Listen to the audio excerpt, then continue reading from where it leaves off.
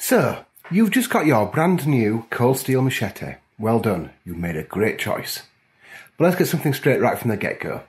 The edge you get on a brand new cold steel machete isn't going to be as good as you would get on a cold steel knife. There are a couple of reasons for that. The machete blades are stamped out of a sheet of 1055 medium carbon steel.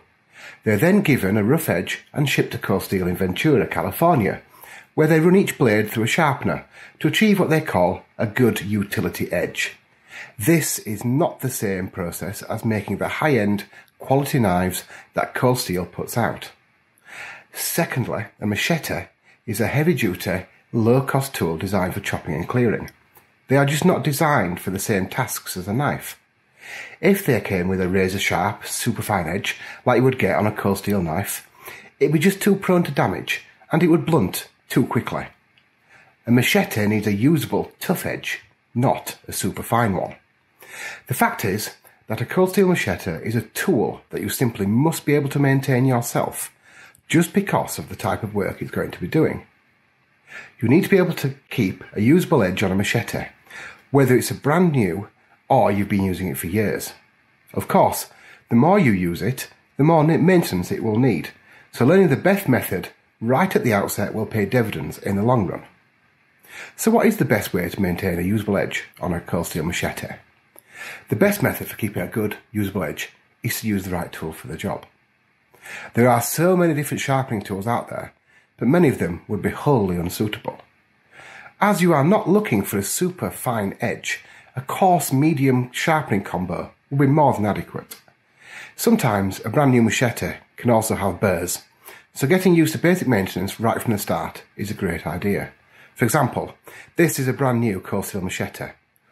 The edge out of the box is definitely usable, but you can see it has a few small burrs that can be easily removed following these steps. First, using a coarse grit to remove the burrs. Get rid of dings and clean up any chips the machete may have suffered. Then, after using the coarse grit, using a medium grit and repeating the sharpening technique will get you a good usable edge. Our chosen tool for this kind of sharpening and maintenance is the Puck by Lansky. It's a circular, double-sided sharpening stone. One side has a coarse grit, the other a medium grit. This one product is all you need to keep that machete in good working order. It's also great for other outdoor tools you might find in the garden shed, like lawnmower blades, axes and the like. Okay, so here is how you use the puck. Gripping the puck firmly in one hand and the machete in the other, whilst making sure that no fingers are protruding over the edge of the puck. Use small overlapping circular motions to rub against the blade edge. Please note that the blade edges are angled and it is important that the movements take this angle into account by angling the puck against the blade to match. As you can see, a cold steel machete has quite a wide cutting edge. It's at least 5mm, so getting the right contact between the edges and the puck is easy. It's important not to place too much pressure on the puck. You only need light to medium pressure for it to be effective. Continue the small overlapping circles all along the edge to be sharpened.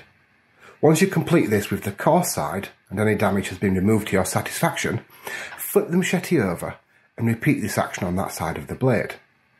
Once you're happy with the results and the burrs, chips and dings are gone, repeat this action, but this time use the medium side of the puck instead. It really doesn't take very long and it will improve the effectiveness and safety of your machete use. This is all you need to get a decent, usable edge on a cold steel machete. Do this on a regular basis to keep your machete in safe, usable condition. That's all folks. And remember, blades.co.uk gives you the edge.